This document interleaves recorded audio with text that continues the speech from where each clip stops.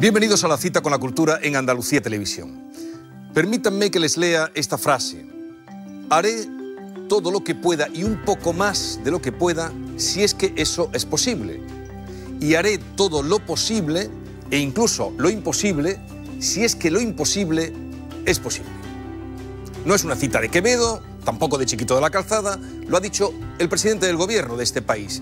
Y ando, desde que la oí, dándole vueltas al magín, tratando de descifrarla, porque esto no sale espontáneamente, pienso. Luego, algo quiso decir el oráculo.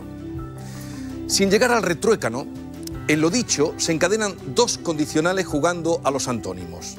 Mas no se sabe si, consciente o inconscientemente, la última incondicional, haré incluso lo imposible, si es que lo imposible es posible, anula todo el sentido de lo expuesto con anterioridad ya que lo imposible, por definición, es lo que no se puede hacer.